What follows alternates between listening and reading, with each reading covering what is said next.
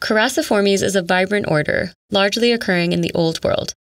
The belted kingfisher is the only species in British Columbia, commonly found in riparian habitats or near larger bodies of water.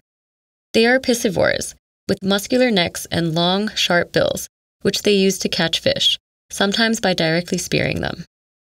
Their short, squared tails facilitate greater maneuverability, and powerful, broad wings allow kingfishers to hover above the water.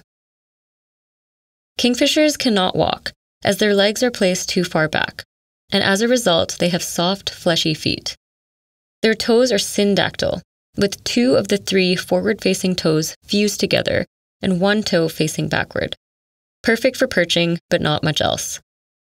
They nest in dirt banks at the end of burrows that can be over two meters deep, and one of the proposed functions of the fused toes is improved digging efficiency. Kingfishers have excellent eyesight and forward facing eyes for binocular vision. Unlike Accipitriformes, however, they have two fovea, such that they have high quality vision directly in front and to the side.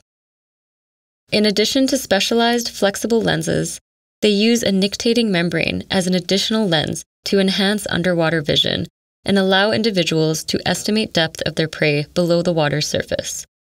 The nictating membrane also functions to protect the eye when diving underwater.